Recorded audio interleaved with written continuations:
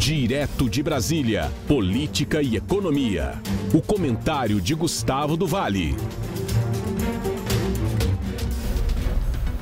Direto de Brasília, vamos ouvir agora o comentário do economista Gustavo do Vale, que fala sobre a economia dos Estados Unidos e o que a economia dos Estados Unidos reflete no Brasil. Acompanhe. Olá, amigos. Vocês são testemunha que eu tenho dito aqui, né, nesses vários encontros que a gente é, teve no passado, de que o que acontece na economia americana é, de bom ou de ruim, sempre bate no Brasil, já que nós somos assim um dos maiores parceiros comerciais nos Estados Unidos, além do que a moeda americana é a moeda de conversão universal então, tudo que acontece lá, acontece aqui. É por isso que eu sempre digo que quando aumenta a taxa de juros lá, a tendência aqui no Brasil é de um aumento do dólar, já que mais recursos devem sair em destino, por destino tesouro americano. Ontem saiu a composição, o, a, o PIB do primeiro trimestre dos Estados Unidos. Não foi, vamos dizer assim, essa, essa Brastemp, como dizem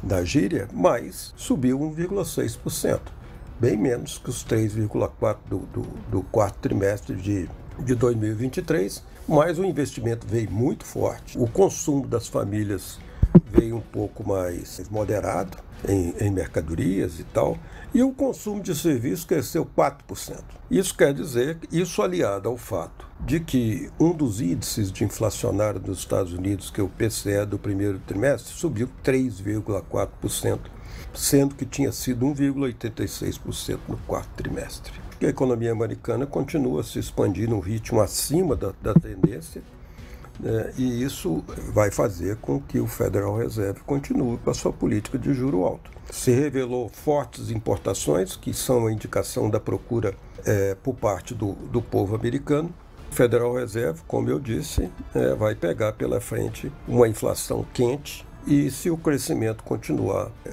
a não desacelerar, eh, a inflação pode voltar e aí nós não teremos corte de juros ainda nesse ano de 2024. De qualquer maneira, é, vamos esperar, já que a reunião do Banco Central vai ser na semana que vem, mas eu não acredito que nesta reunião nós teremos mudança no que o Banco Central tem dito ao longo do tempo de descer meio ponto percentual. Outra bola nas costas que o governo levou hoje foi a questão do PERS.